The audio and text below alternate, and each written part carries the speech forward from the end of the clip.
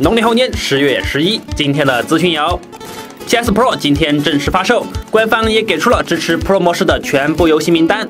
除了之前提到的四十余款以外，还公布了十余款即将发售的支持 Pro 模式的游戏，有大家早就知道的《最终幻想十五》《人王》等，也有今天才公布的《三国志十三》威力加强版等。嗯，关于这个游戏，小编还真买了主机的版本。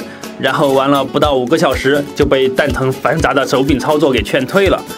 话说这个画面做出 Pro 模式会是怎么样的呢？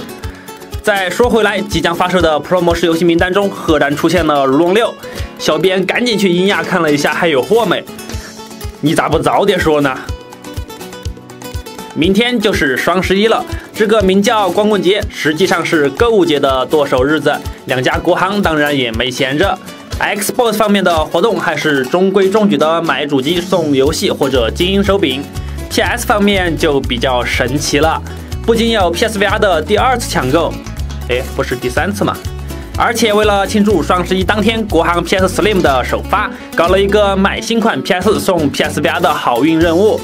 就是这个好运任务的达成条件有点不容易。需要购买 PS 时留下的手机号码后三位与十一月二十一日的博彩开奖号码后两位一致。大家买的时候记得也用手机号码买几张彩票啊！